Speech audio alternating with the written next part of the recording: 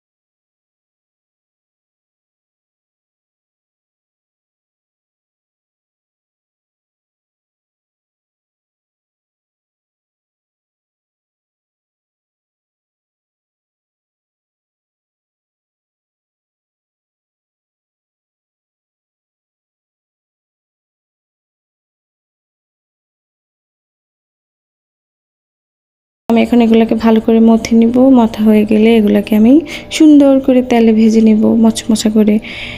So এই যে আজকে আমার ভিডিওটা শর্টকাট ভিডিও জাস্ট এগুলো বানাইতেছিলাম সো ভাবলাম আমার একটু আপনাদের সাথে একটু শেয়ার করি। তো এই জন্যই শেয়ার করা।